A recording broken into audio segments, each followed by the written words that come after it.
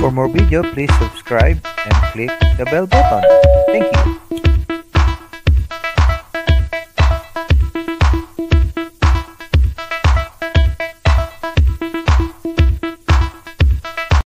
Okay guys, balik tayo. Gaya na napag-usapan natin ang ating pag-uusapan at gaya ng mga tinatanong ng mga technician, ano daw ba yung basic elect- electrical parts ng refrigerator.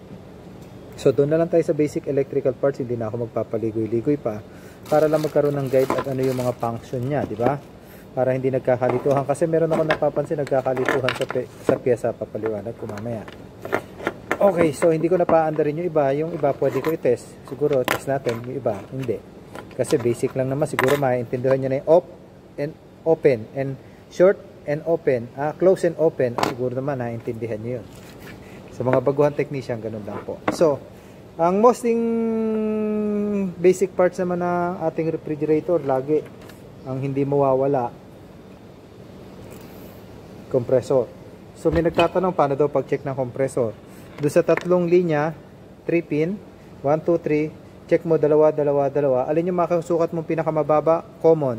Ano yung pinakamataas? Starting. So, para hindi ka malito, automatic running ang middle. Ulitin po natin sa compressor, may nagtatanong pa rin sa mga baguhan eh. Kasi sinasabi paano daw pag-check ng compressor kung buo o hindi. So, hindi mo rin naman, kahit naman buo sa resistance yan, kung stack up, sira din. So, pero para malaman mo kung alin yung common, pinakamababang resistance dun sa tatlo na sinukat mong dalawa-dalawa, pinakamataas ang starting at ang running ang nasa middle. So, compressor. So, ang mga kasama ng compressor automatically sa may mga rep, overload, and relay. So, overload, siguro naman, alam naman natin, close and open lang sa pag-tester. Nasaan ba ang aking tester? Uh, lagyan na lang natin sa natunog. Pakinggan nyo. Natunog naman eh. so, so, close, open. Walang tunog. Close. So, buto ha. Hmm. So, nagtataka ako sa ibang technician, ewan ko, siguro nga dahil bago, naghahanap sila ng kamukha sa brand. Hindi mo naman kailangan ng kamukha ng brand eh. Basta overload, pare-parehas yan. Sino nagsasabi sa akin hindi pare-parehas ang overload? Magkakaiba lang yung ano, yung tinatawag na yung hit ano niya kasi may di ba may malaki may maliit yun lang pinagkakaiba pero at ang ano pa rin yan pwede pa rin yan kahit yung nagamit mo pan 2 door do sa single door parehas lang hindi naman kasi ganun kalaki yun pag uminit naman talaga siya magkakatop eh napaka sensitive naman ito talaga sa overheat at saka sa overcurrent eh okay overload ah okay malito sa mga bagong technician close and open or short or open or close uh, uh, parang switch lang o fuse pala, parang fuse. Relay. Dalawang klase relay natin. Pansin nyo, isang tatlong pin, isang single pin. Ayan o, single pin. So mostly yung mga bagong compressor ngayon, kumpara mo doon sa mga luma, gumagamit sila ng ganito yung single pin sa relay. So, ang pinagkaiba nito, ito kasi gumagamit ng capacitor. Ito, wala na siyang capacitor kasi yung compressor niya naka-design may capacitor na or yung sa coil yun eh may nakita na ako noon eh. pero ito gumagamit ng capacitor kasi 3 pin yung automatic yung dalawang linya capacitor ito sa neutral so halimbawa may gumalaw ng refrigerator hindi mo alam kung may capacitor o wala anong gagawin mo halimbawa Minsan kasi baka naman nagtumitirik yung compressor kasi walang capacitor eh nakakabit na ginamit ng technician single relay na hindi naman dapat. So ang advantage pag gagamit ka ng ganito na may capacitor, kahit yung compressor niya is hindi allowed na gamitan ng, ng capacitor, pwede mo pa rin siyang lagyan. Kasi yung capacitor naman is nakakatulong lang then para mag-stabilize ang kuryente o para, parang tinatawag nga rin nilang filter, sabi nga na yung aking kasama. So nag-stabilize siya ng kuryente, nagbibigay siya ng enough na kuryente. Oh, so advantage kahit sabihin mong ang ginagamit niya is single pin, eh ang available mo sa may mga rep o available mo sa ano mo, bag mo is 3 pin, lagyan mo ng capacitor. O ngayon, kung hindi mo lalagyan ng capacitor, may technique. May, sini, may hinihinang kami dito. So, hindi nyo, ano yun, uh, wag na muna natin, baka malito kayo. May hinihinang lang kami dito para mag-connecta sila. So, single pin, versus 3 pin. 3 pin may capacitor, 1 pin wala. Pag ang compressor is nakadesign na walang capacitor, no issue kung lalagyan mo ng capacitor. Mas makakatulong pa siya, tutuusin. Mas makakatulong sa performance ng compressor. Para sa akin, kasi sa experience ko, minsan nga, yung unit eh, tumitirik na siya eh. Ah, nung nilagyan ko capacitor, mas gumanda andar niya eh. May, nang, may na-experience na ako noon, ewan ko po sa inyo, sa mga technician. So, eto, pag tinester mo, may resistance, eto, wala. Kasi may ano to sa loob eh. Eto, coil. Eto, yung parang, ah, may mechanical type siya eh. Bibitaw lang siya pagka ano eh. Yung parang bato, yung eh, bato nga tawag ko dun eh. Iinit siya, tapos itutulak niya lang yung isang switch. Eto yon Ganon din sa parang overload ang dating. Etong relay nito, may coil to sa loob. Kaya pag tinester mo to, eto, pag tinester mo, wala. Parang, ewan ka kung tutunog pagka ano. Ah, resistance lang. Oh, ito kasi walang resistance eh. So, pag tinek natin yung single pin, single pin, oh, may resistance, di ba po? Pag chinek natin yung 3 pin, wala ka makukuha resistance doon sa kinakabitan mismo ng pin ng compressor. Pero, may resistance isa dyan. Kasi isang linya lang yung the rest na linya. Isa lang yan eh. Oh. Yan yung, di ba yung pag mag-ano ka sa, re, sa capacitor na isa yung neutral para yung ikot niya. So, naka-design na siya, hindi ka na malilito. Automatic, neutral yung isa dyan o yung sa taas. Tapos isa. Basta yung dalawa sa taas. Capacitor. Okay?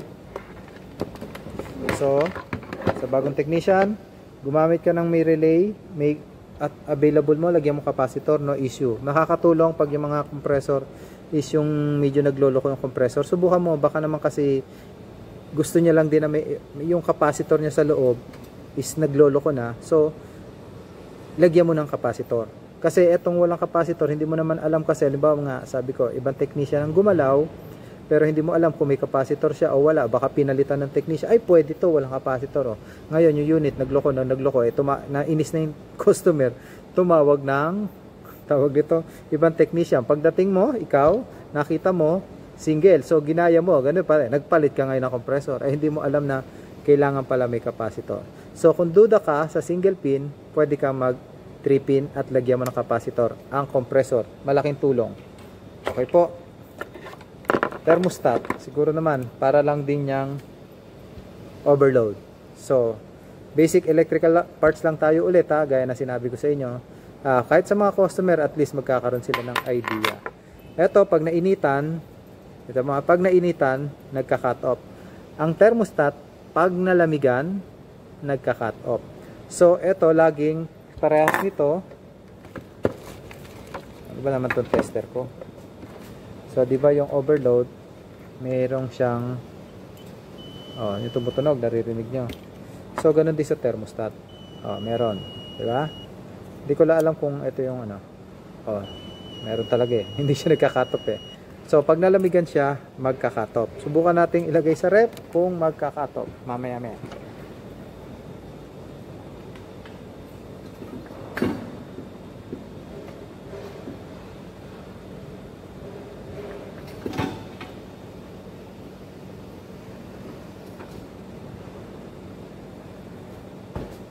So, nilagay ko kasi may side by side ako sa likod yung dinemo ko nung nakaraan.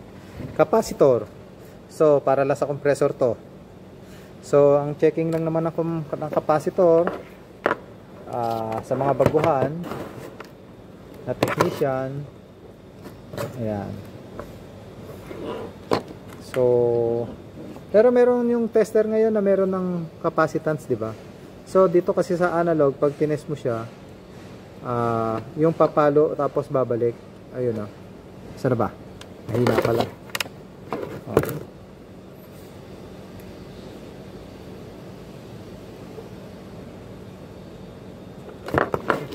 Sana ba ako? Sira yata yung capacitor ko nakuha ah. O yun, me- meron meron. Kulang lang. Okay. O, sa analog kasi, masanay kasi ako sa analog eh. Sorry kayo. Di ba pag inano mo, ayun o, pumapalo. Papalo siya, pero babalik. Sa kabila, papa, ah, papalo siya, pero babalik. So, hindi ibig sabihin buo, hindi rin ibig sabihin sira. So sa capacitor, yun nga, yun, yun lang ang pan-test ko, yung sa analog, papalo, babalik. Masasabi natin buo, pero hindi rin natin may sira. Hindi gaya dun sa tester na may capacitance na mga digital, na may digital. So malalaman mo kung ah, halimbawa, ang nakalagay dito is 5 microfarad, makikita mo pag bumaba na siya sa 4, 3, sira na. Tsaka doon sa aircon, malalaman mo 'di ba yung pag tinayo mo yung capacitor o kahit ito, hindi na siya lapat, ah, sira na rin siya. Kasi bilog na yun sa ilalim eh, lumobo na siya. Yun ang mga sign ng capacitor, lalo-lalo na sa mga PCB din, titingnan mo, halimbawa, itong PCB na to, ganyan, titingnan mo itong mga capacitor pag lumobo na. So, doon pala indication kahit hindi ka electronic technician, pag nakita mo lumobo yon sira yon. So, basic electrical parts lang tayo ha. Hindi ako nagmamadali, sadyang ganun lang. So, dito marami nagkakalituhan. Ah, oh, eto, defrost timer. So, guys, ang trabaho lang ng defrost timer, paanda rin ng compressor at paanda rin ng heater. Okay, walang kinalaman to, wala, walang kinalaman to kung bakit hindi na yung ano tawag nito mahinang lumamig. Halimbawa naandar ang compressor mo at mahinang lumamig. Huwag mo sisisihin to ha. Kasi meron na technician daw, mahinang lumamig, pinalitan ko na yung defrost timer. Ano kinalaman nun? As long as naandar ang compressor, buo to. At, at as long as pinihit mo at nagpunta sa heater, buo to. So meron akong video sa link, i-share ko na lang below sa comment yung link ko paano how to test this defrost timer without diagram para hindi ka rin malito ipo-forward ko sa link sa baba. Okay? Para at least makita mo para ma-check mo lalo-lalo na sa baguhan. Okay. Ulitin natin. Ito. Sensor. Kasi iba nagkakalituhan talaga eh. Ang tawag nila dito, sensor. Bimetal, thermodisc. Bimetal, thermodisc. Hindi po to sensor. Pinipilit nila sensor. Ito ang sensor magkaiba po talaga siya ng tawag kahit dalhin mo sa ang brand yan. Hindi po to bimetal o thermodisc. Hindi rin po to sensor. Kasi ang sensor, nagsesense ng lamig. Ang thermo bimetal o thermodisc, uh, nagka-cut off siya. Nag, kumbaga sa boiling point o kaya sa lamig niya, magka-cut off siya. Yun lang ang trabaho niya. On and off. Ito kasi, ang trabaho niya, yung nire-regulate niya yung lamig. Kung halimbawa binigay, hiningi mo is uh, 17, 18, 19, 20, 21, 22, 23, 24, negative. Ito siya. Kaya niya i-regulate. Ito kasi hindi. Basta lalabigan to based da sa 15 degree to 20 degree, magka-cut off siya. Negative 15 to 20 degree, magka-cut off siya. Depende na lang sa design. Yun yung standard. Negative 15 to negative 20, magka-cut off siya. Eh, ito kaya niya hanggang negative 24. O, di ba? Ito, magka-cut off siya. Mag, mag-switch on siya. So, Ulitin natin, bimetal yung may parang bilog sa puwet. O yung pahaba, pare sukat, pahaba, walang problema, bimetal. Basta may lapat doon. Marami lang. So, ito ang trabaho nito. Pag nalamigan, magkakatot. Okay, ulitin natin. Itong bimetal is wala rin ulit kinalaman sa pag hindi paglamig ng maayos ng refrigerator. Meron kasi nagsasabi, hindi nalamig yung refrigerator. Sabi daw ng technician, pinalitan yung bimetal. Pero to be honest with you, wala kasi kinalaman sa lamig to eh. Kasi nga ang trabaho nito mag-cut off lang. So, kulay blue and black. Tester natin.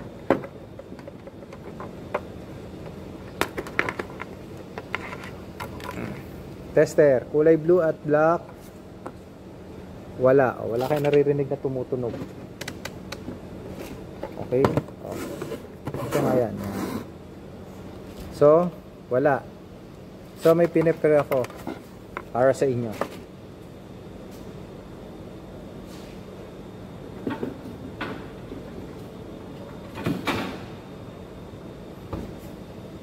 Oh, sadya nag-freeze pa ako ng ano, ano. 'Di ba? So, para kahit magtagal tayo. oh, ang trabaho nito mag-on. Pansinin niyo? Ito yung isa, baka sabihin nyo, niloloko ko kayo. Ito yung connection nyo nasa taas. Ayan o. Oh. So, wala. Kasi hindi siya malamig. So, ngayon, ito.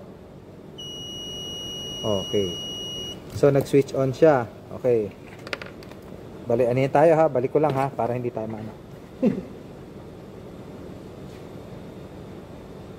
ito na nasa tabi, tutunawin ko na rin naman to eh. Okay. So, ulitin natin.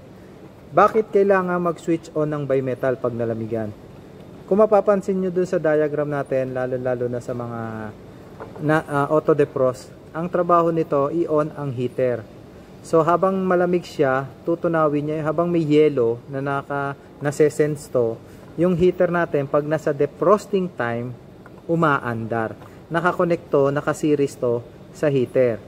So walang kinalaman to, walang kinalaman to na nagsasabi diyan na pagka sira daw to, hindi na daw lalamig ang refrigerator. Kahit sira to, kahit naka-short to o kahit hindi, lalamig po ang refrigerator. Okay? Kasi nga ang trabaho lang naman niya pag nalamigan, mag-o-on ang heater during defrost. So kahit hindi nagde-defrost at nalamigin siya, naka-on para pag umandar na sa defrost timer niya ng heater time niya, naka-on na siya, automatic ang heater natin mag-on.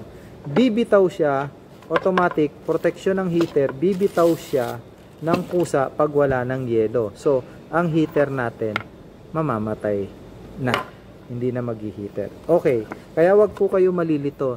Thermal, thermo bimetal, bimetal, or thermodisc po to. Thermofuse. Thermal fuse, magkaiba. Okay? Ito, thermo bimetal, thermodis bimetal, pag malamig, mag-o-on. Okay, magkaiba sila. Thermal fuse, pag mainit, magka-cut off. Bakit? Kasi shorted na siya. Uh, dilaw at itim. Hmm. Shorted siya. Tong thermal fuse. Di ba? Thermal fuse, bakit ano trabaho nito? Ulitin po natin ha, sa bimetal. Ang trabaho ng bimetal para umandar ang heater. Habang malamig, habang may yelo, doon sa nararamdaman ng bimetal, aandar ang heater pag naka-defrost time siya. Pag wala ng lamig, o open na siya, mamamatay na yung heater natin. Pero yung defrost timer natin, continuous pa rin hanggang sa mag-cut off na siya. Okay? Thermal fuse, ano naman trabaho? Heater pa din. Protection niya. Halimbawa, nag-o-overheat. Nag-overheat, nagloko. Hindi bumitaw to. 'Di ba? Hindi bumitaw, naka-short na, 'di ba? Kasi nga ano te, hindi bumitaw, nag-overheat. Ito naman ang magiging protector niya. Thermal fuse, kaya nga thermal, mainit. Thermal fuse ang magpoprotekta sa heater para bumitaw. Kasi minsan merong ter thermo bimetal na nag-short na, ayaw nang bumalik. Ngayon, dare-diretso ang heater mo, ito ang pipigil sa kanya. So, dalawa ang protector natin sa heater. Yung isa, para lang mapaandar niya, yung isa talaga, protector niya na hindi siya mag-overheat. Kasi sabi, imposible daw mag-overheat yan. Oh, na-experience ko na po. Kaya wag niyo akong tatanungin kung hindi totoo. Kasi na-experience ko na hindi na nabitaw to. Pag hindi na bumitaw to, dire-diretso under ng heater mo, eto na yung magka-cut off. Okay? Ngayon, hindi siya makakabalik sa under ng compressor hanggat hindi nagka-cut off to. Okay, kailangan mai-cut off niya to. May signal yon. Kung alam niyo po pagbabasa ng diagram, may mga signal yan na automatic pag bumitaw na to, kasi naka-short to, pag bumitaw na, may signal na siya para bitawan na rin yung sa defrost timer. Matututunan nyo rin yan katagalan pagbabasa ng diagram. Kaya nga sabi ko po sa inyo, sa mga baguhan, napaka-importante magbasa, matuto magbasa ng diagram. Okay. Termo. Meron kasing ito, niya. Dalawang side yan, dalawang klase. Mechanical type gumagamit ng bimetal at thermal fuse. Okay? Electronic type gumagamit ng sensor at thermal fuse. Pansinin niyo, pareha sila may thermal fuse. Bakit sila dito magkaiba? Kasi nga, dahil nga ito, nare-regulate niya, PCB control siya eh. Ito kasi mechanical type, oh. So, on and off lang siya. Ito hindi, regulated to. Kaya niya mag-regulate ng inihingi mong sensor kasi nga electronic type sensor siya. Pero pareha sila may thermal fuse. Bakit? Para pag nagloko din to, may protector pa rin yung heater mo. Hindi ba? Pag nagde-defrost time. O, sa defrost to, o, defrost sensor, room temperature sensor, o kahit ano sensor na refrigerator, pare-parehas. Ano ba resistance nito? tingnan nyo dyan.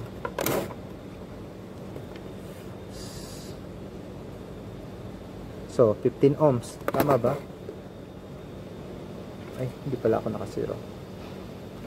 Oh.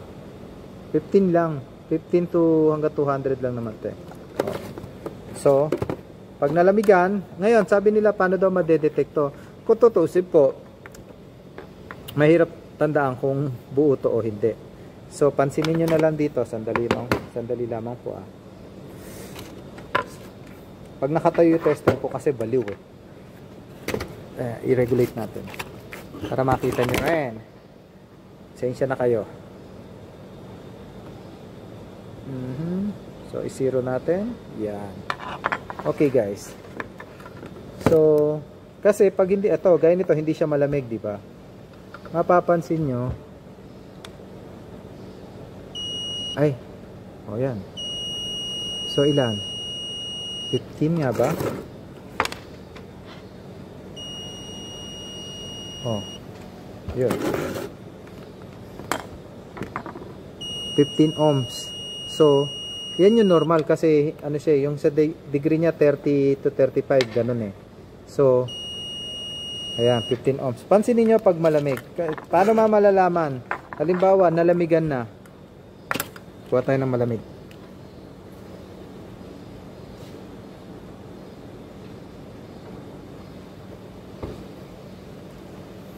Ito, nakapasok pa sa ano. Kaso, hindi susuot yung akin tester dito. Kasi ano to maliit eh. Sana sumuot. Aha, sandali lamang po ah. Para sumuot yung tester ko. Kasi may nakaharang eh.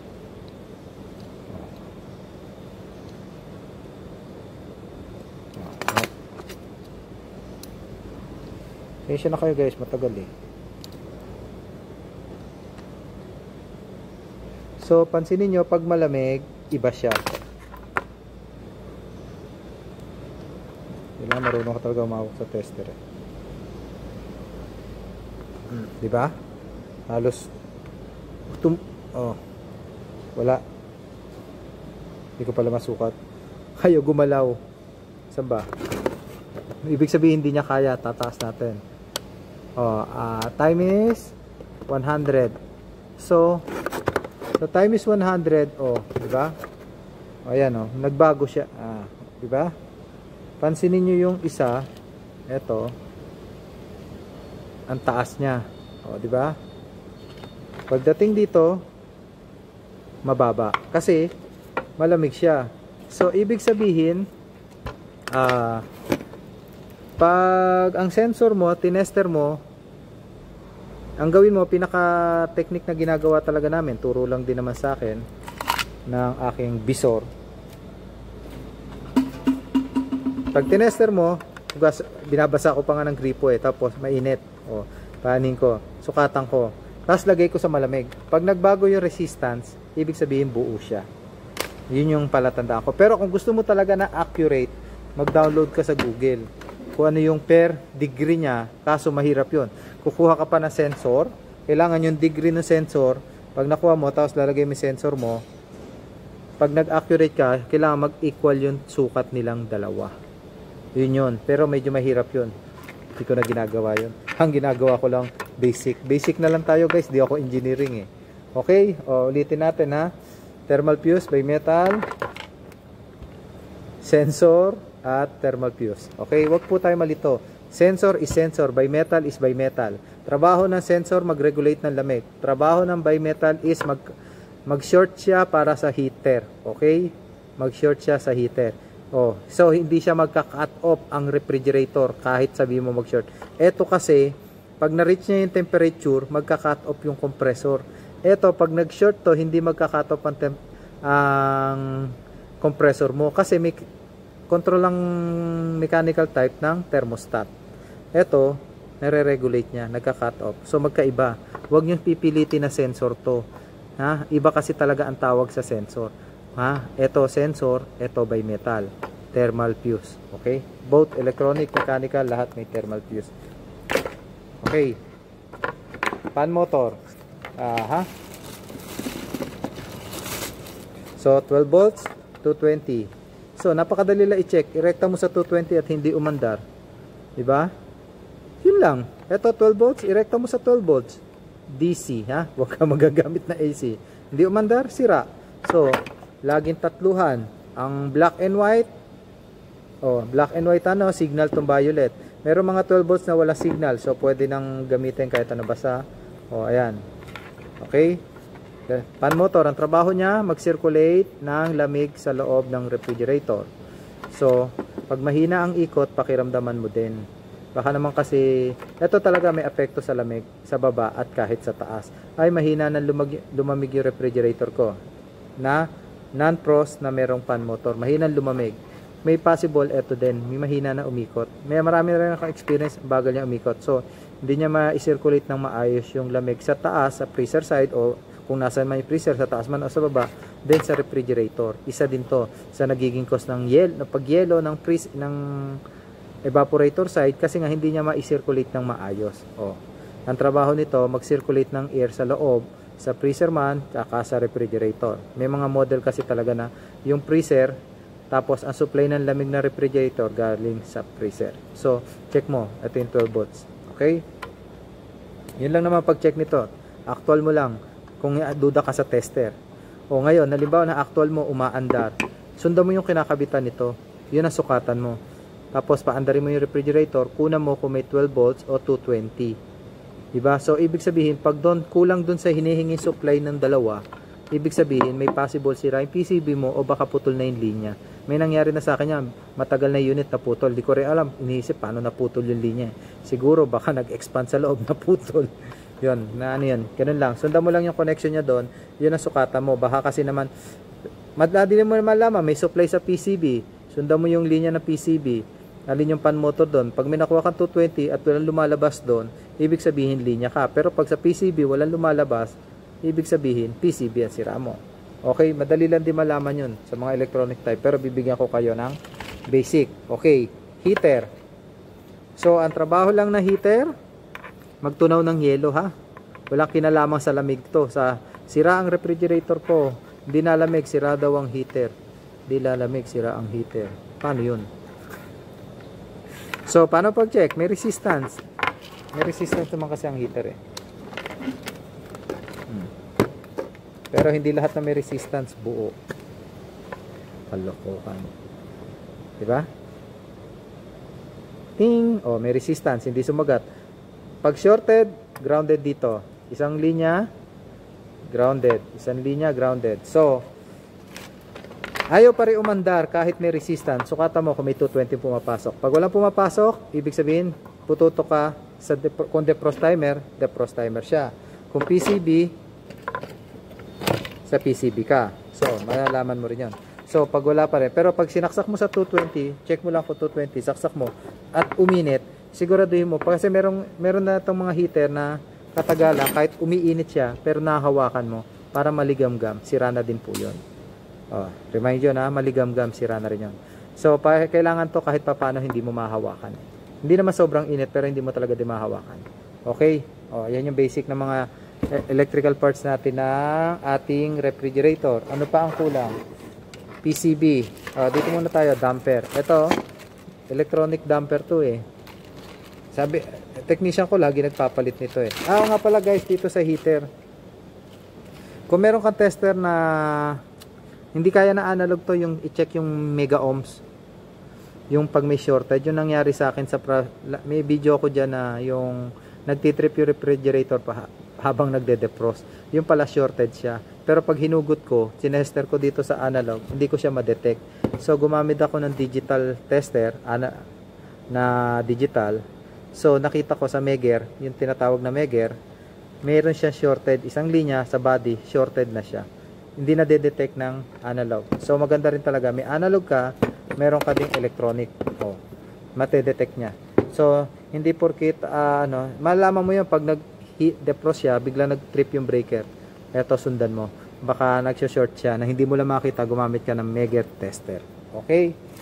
Eto, lagi nagpapalit mga technician ko daw sira, hindi daw nataas. Paano mo malalaman kung sira to o buo? Iwanan mo, ano, bukas. O iwanan mo sara. Ganon. Yan.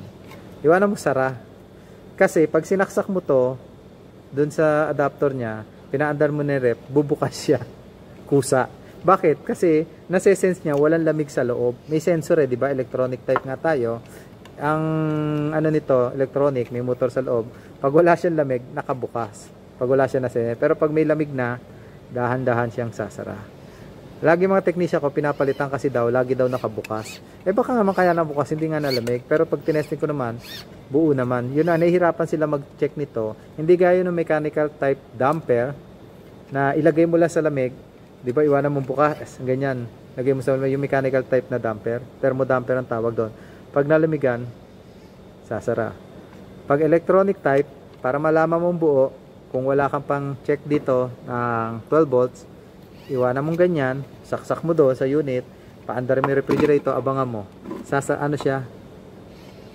Gaganyan. O kaya, bubukas siya. Iwanan mo sara lagi. Sara lagi ang pag-check. Okay, ako sa ibang brand, bakit daw continuous na nag-yellow? Based on experience, etong foam tinatanggal namin. Kasi namumuo yung yellow dyan. So, paglapat niya, yan o, hindi siya makasara kasi puno na ng yellow. Ganon din sa thermodamper. Bakit nag-yellow sa baba? Uh, yun yung mga point na puno ng yellow sa taas, napapatakan siya ng tubig, so nagigi kaya may heater yan eh, na maliit eh. Pero ang ginagawa ko talaga, tinatanggal ko yung foam. Kumakapit kasi yung tubig diyan namumuo. So pag sara niya, hindi 'di ba lapat yan, ayan mapapansin niyo. Pero pag mayroon patak ng tubig, yelo, so hindi siya makakasara ng maayos. Isa sa mga tip sa thermodamper o electronic damper, tingnan nyo kung isasara niya maayos, baka kasi may tubig. Yun yun, bakit nagpi-freezer sa baba. Ito ang check nyo, lalo na mechanical type, uh, mga damper. Mas malokohin kaysa sa electronic. Okay? So ano pa ba ibang pyesa ng ating refrigerator? Lastly, pinakamahirap, PCB. Magbasa kayo ng PCB para matuto rin kayo. So, ang malimit na nasisira sa PCB na experience ko, relay. Yan, Kaya nga nakatanggal yung relay, tinanggal ko para sa inyo. Sa mga baguhan technician. So, halimbawa, heater mo hindi na andar. Check mo yung relay mo. Meron yan nakasulat eh. Di ba? May mga nakasulat yan dyan sa ibabaw. Dito. Defrost heater compressor o yung iba kasi na technician pag sinabi hindi na andar ang compressor PCB type gusto palitan kagad ng PCB may relay yan. Hanapin mo compressor. O di ba? Ayun yung isang linya ng compressor dito. So hanapin mo yung relay niya. Kasi baka naman yung relay niya sira na. Paano pag check na relay? Meron dyan nakasulat 12 volts sa likod. Ito. So, supplyan mo siya ng 12 volts doon. Tapos, sukatan mo yung dalawa. Hanapin mo yung coil. Kaya nga napakahalaga magbasa ka lagi na ano eh. Supplyan mo. Lagi naman ang 12 volts nila. Yung nasa baba ay yung dalawa na mag na. Pag ganito, ayan o. Oh. Ah, paano ba? Camera. Hindi talaga kita eh. Ayan o. Oh. Etong dalawa sa baba, yan ang 12 volts. Ito, ito yung magiging supply. Switching lang din naman to eh. 'Di ba? May supply na 12 volts, i-switch niya para umandar yung compressor. So, dito pa lang ah, sa mga technician lalo-lalo na sa baguhan, ah, sana maano niyo rin, matuto kayo magbasa. 'Di ba? Hindi na andar yung compressor. Sukatan mo ng 12 volts, nasan yung relay niya? Kumuha ka ng tester. Sukatan mo kung may pinapasok na 12 volts. So, ibig sabihin, pag may pinasok siya na 12 volts, sila, si, sila, sira yung relay mo. Pero pag dito pa lang, wala nang pumapasok na 12 volts, sira yung PCB mo. So, dito magpapalit ka. Hindi ko na alam kasi medyo malalim na yan eh. Hindi na tayo, hindi na ako electronic, pero sa mga electronic advantage yan eh. Ang nade-detect nila or baka may mga resistor. Ganon din sa heater. Halimbawa, hindi nagde-defrost pero yung defrost mo is okay naman, yung heater mo, pero ayaw niya talaga mag-defrost. Hanapin mo din yung relay ng defrost. Sukata mo, may 12 volts ba na pumapasok. So, pag may pumapasok na, ah, may nilalabas na 12 volts dito, so, ibig sabihin, checkin mo to. Supplyan mo ng 12 volts, tingnan mo ngayon kung magko-contact siya. Etong switching. Switch nga lang to eh. Pag nasupplyan, didikit. Parang contactor ng AC. Pag may supply ng 20, tick, o, di ba? Ganun lang din to. Pinaliit lang. O, yung pan motor mo, ayaw umandar. Relay din. Sukata mo ng 12 volts. Check mo kung may 12 volts. Pag wala, sundan mo yung ibang linya niya. Kung marunong ka. Huwag po kayo mahiya mag-aral sa electronics. Ako na nag-aaral pa rin hanggang ngayon pag sa electronics. Pero ganun, pag ang problema, uh, simple lang. Ako na. Gaya yun. Ay, no power. Naghanap. I-check mo kung may fuse. Wala pong fuse. Ang sabi ng technician. Oh, di ba? Ang hinanap na fuse yung glass fuse. Ayan, ayan, ayan. O, di ba? Oh. Hinanap glass fuse. Di ba alam yung mga glass fuse na maliliit yung kulay puti na pahaba? Walang fuse. Pambihira. Ito po, fuse yung maliit na yan, yung kulay pula. Oh, so di ba? Alam mo dapat yung ay, asa ba 'yon? Logo ng fuse oh. Alam mo dapat yung lo, lo, logo ba? Symbols ng fuse. Alam mo dapat ang symbol ng fuse. Oh. Yan lang 'yan. So sa mga PCB type ah, sa refrigerator eh sa inverter talaga kasi pag hindi ka train mahihirapan ka eh. Pero dito sa mga non-inverter kahit hindi ako train, madali siya eh. Kaya ka nga tayo- kaya ko nga paandarin ng unit kahit walang PCB eh, di ba? Gagamitan lang kita ng thermostat. O, paandarin ko yung unit. Eh eto, yung inverter type, matetesting mo ba kung buo ang compressor mo? Hindi, maliban sa resistance pag check mo. Pero bihira masira ang compressor. Okay? So, pinaliwanag ko lang din ang basic electrical parts ng refrigerator at saka ano yung mga trabaho niya. O, etong PCB to, non-inverter po to, ah, kumbaga mas madali to para sa akin. Ngayon, kahit masira to, sus, madali i-repair. Mga technician dyan, madali lang i-repair po to. So, sa mga technician na bago, sana may natutunan kayo. Doon sa mga expert dyan at bihasana, magtulungan na lang tayo sa kapwa natin technician. Hindi naman po masamang tumulong eh. Huwag na tayong ibang customer, pag nagtatanong ano sira o yung technician, sasagutin nyo ng PM. Hindi po ako sa nag-ano, tamaan po kayo. Kung tatamaan kayo, ilag na lang. Hindi ko kailangan mag-PM, mag magko-comment ako para makatulong. Ngayon, mas maganda kasi ang gawin nyo, yung mga technician na nag-PPM, di ba? Ah, siya, ikaw ang mag-PM sa kliyente. I-PM mo o technician siya. Eh, ano ba, ah, customer ka ba o technician? Pag sinabi niyang technician siya, o sige ganito, sira niyan, tulungan kita. Pag hindi kaya, mag, tayo magkita tayo, magtulungan tayo, gawin natin yung unit. O, di ba? Pag customer siya, i-PM mo, diretso. Isipin mo, pag naipaliwanag mo sa customer yan, yung problema na yan, at hindi mo kailangan mag-PM, at naipaliwanag mo sa customer, at sinabi, hindi niya pa rin magawa, ikaw ang tatawagan niya kasi base sa pagpapaliwanag mo. Mas bibilip siya sa paliwanag mo, kesa naman sabihin mo ng PM, PM, location, location, location pa. Nahingi nga ng tulong eh. Sabi pagtulungan, hindi pagtulungan. Ito mga technician nga naman. No? Then, totoo naman. Gusto rin naman talaga natin kumita, pero ilagay din natin sa lugar. Kaya nga sabi ko sa inyo, baka ka ako nagsisiksika na kayo sa rep and aircon. Pag-aralan nyo yung kalan na pinaus ko, tutorial ng kalan. Susunod ko yung oven. Busy talaga ako nag-inventory kami. Nag-ayos na ako ng inventory. So, maraming maraming salamat sa inyo guys. Uh, doon sa patuloy na nag-comment at nagla-like and share ng video tsaka sa mga nanonood. Salamat po na-appreciate ko yung mga ano nyo. Tsaka yung mga nagme-message kung hindi ko kayo ma-replyan agad. This means busy lang din po ako. Tsaka salamat din po sa mga natutulungan ko kahit uh, pa-message-message lang, nakakatulong ako. Ang layunin ko lang naman po is tumulong. Hindi ko pa ipagkakait yung kaalaman ko uh, bilang technician sa mga gusto mag-aral. Hindi po ako ganong kagaling na technician. May back job din si Jerby. So, ang gaya ang ginamit ko ngayon, DIY, do it yourself.